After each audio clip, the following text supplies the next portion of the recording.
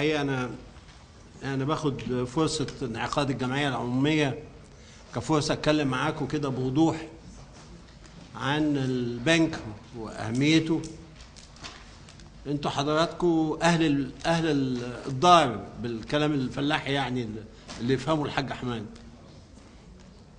فالبنك ده لما تأسس سنة 36 مش أسسه صدقي باشا لو رجعنا للتاريخ هو أنشأه ليه؟ كانت سنة صعبة على الفلاحين. أراضي الفلاحين كان في إيد بنوك أجنبية وكان في تهديد لهم.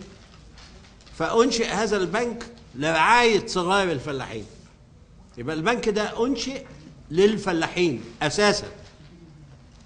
يبقى هذا البنك له طبيعة خاصة.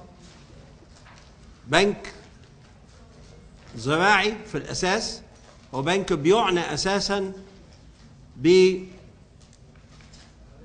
بالتنمية اللي هي أساسها الفلاح الصغير والمزارعين والزراعة عموما.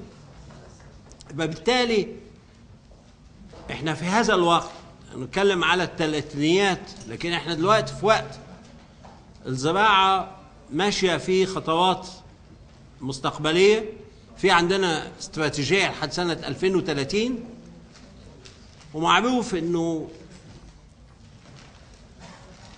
إن أي تطبيق لأي استراتيجية في الزراعة